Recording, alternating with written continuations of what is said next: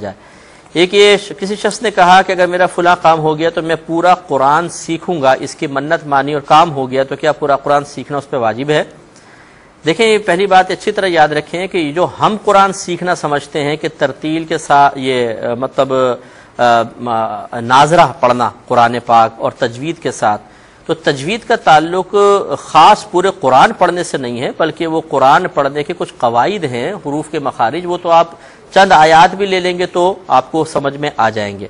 اور پورا ناظرہ پڑھنا یہ مطلوب شرع نہیں ہے۔ اصل میں قرآن جو سیکھنا کہتے ہیں، جو حقیقتا قرآن سیکھنا کہلاتا ہے، وہ ہے کہ آپ اس کو ترجمہ اور تفسیر کے ساتھ سیکھیں باقاعدہ، تاکہ وہ قرآن ہمارے لیے باعث ہدایت بنے۔